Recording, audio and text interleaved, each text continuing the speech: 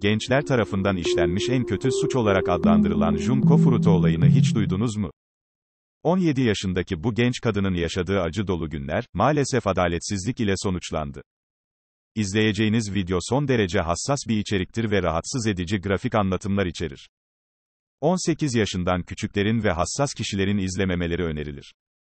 Junko Furuta, 17 yaşında Tokyo'da yaşayan bir lise öğrencisiydi.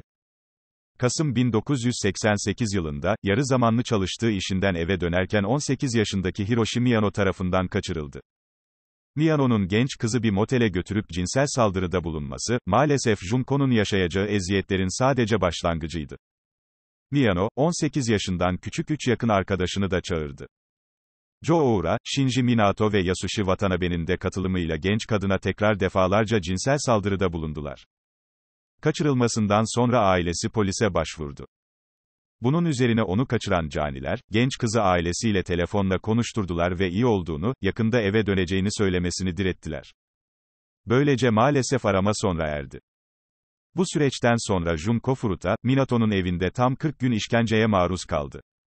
Minato'nun ailesinin neden hiç ses çıkarmadığı halen merak konusu. Muhtemelen oğullarından şiddet görüyor ve korkuyorlardı. Ancak göz göre göre bu genç kızın çığlıklarına hangi vicdanla göz yumdukları tartışılır. Junko, akıl almaz işkencelere maruz kaldı. En soğuk günlerde iç çamaşırıyla balkonda uyumaya zorlanması, yüksek miktarda alkol içirilmesi, su ve süt dışında yemek verilmemesi, sıkıldıkları anda dört erkeğin fiziksel ve cinsel şiddetine uğraması, vücudunun belirli noktalarının ateşe verilmesi bunlardan sadece birkaçı.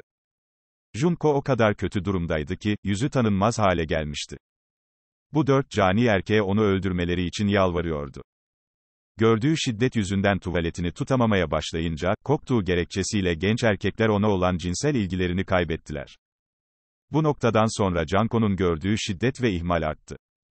En sonunda, 4 Ocak 1989 günü, Miyano arkadaşlarıyla oynadığı bir oyunu kaybedince sinirini genç kadından çıkarmaya karar verdi. Feci şekilde şiddet uyguladı ve en sonunda genç kadını yaktı. Daha önce de olduğu için Junko'yu bayıldı sanan ekip, evden çıkıp eğlenmeye gitti. Akşam döndüklerinde Junko'nun hayatını kaybettiğini anladılar. Ertesi gün yakalanmaktan korkan ekip, genç kadının bedenini 200 litrelik bir varile koydu ve üstüne çimento döktü. Polis ertesi gün varili bulduğunda genç kadının kimliğini parmak izlerinden bulabildi. Maalesef tüm gençler çok az cezaya çarptırıldılar ve bugün hepsi özgürce hayatına devam ediyor. Hatta bu olay yüzünden hapis yattıktan sonra dört kişi de başka suçlardan tekrar tutuklandılar. Junko'nun ölümü ve işkencesiyle halen övündükleri söyleniyor.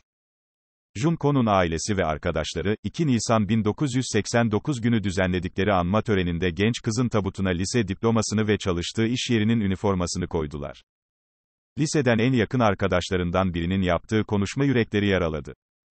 Junko. Canım. Hoş geldin. Seni bu şekilde göreceğimi hiç hayal etmezdim. Çok acı çekmiş olmalısın. Çok fazla eziyet. Seni hiçbir zaman unutmayacağız. Okul müdürümüzün sana diplomanı verdiğini duydum. Bak, birlikte mezun olduk. Hep birlikte. Junko canım, artık acı ve eziyet yok. Huzur içinde dinlen.